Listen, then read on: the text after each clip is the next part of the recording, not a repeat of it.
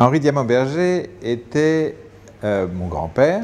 Il était l'un des premiers auteurs, réalisateurs, producteurs. Nous sommes ici d'ailleurs à l'ARP, euh, la maison des auteurs, réalisateurs, producteurs, et c'est, disons, une des personnes importantes du cinéma qui a inventé le concept. Il a réalisé euh, ses premiers films pendant la guerre de 14 et il a continué à réaliser et à produire jusqu'en 1972.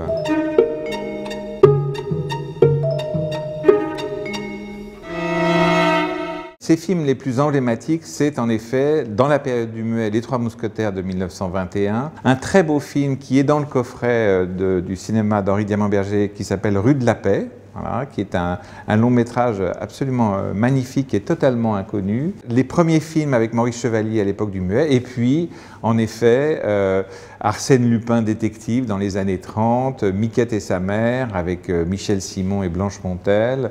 Euh, et puis vraiment des films qui sont devenus des classiques, euh, qui sont passés d'ailleurs souvent euh, à la télévision. Monsieur Phare, l'histoire de l'entomologiste, joué par Pierre Freinet, La maternelle, et puis dans les films qu'il a produits, La belle américaine, et parmi les plus beaux films de Mocky, Un drôle de paroissien.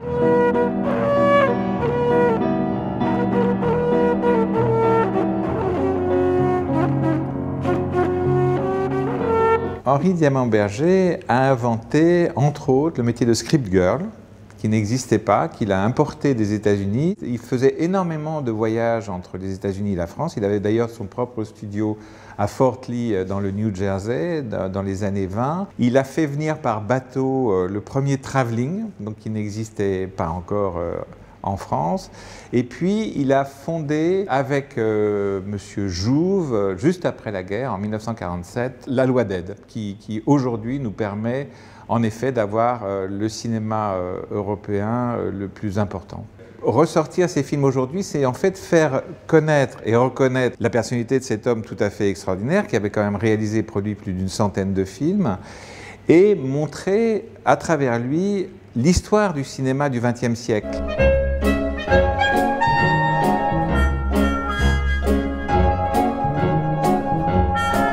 Faut absolument euh, lire les mémoires de Henri Diamant-Berger, le cinéma d'Henri Diamant-Berger, parce qu'il a été le témoin euh, de toute l'histoire du cinéma français, européen et mondial. C'est vraiment des mémoires qu'il a écrits lui-même.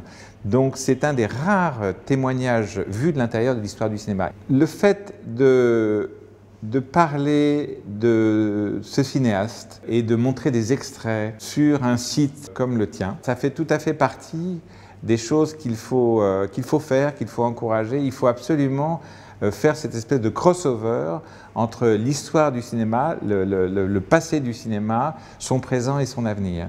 En tant que cinéaste, mon grand-père m'a appris à être ambitieux, à ne pas avoir peur et à ne pas prendre le cinéma trop au sérieux.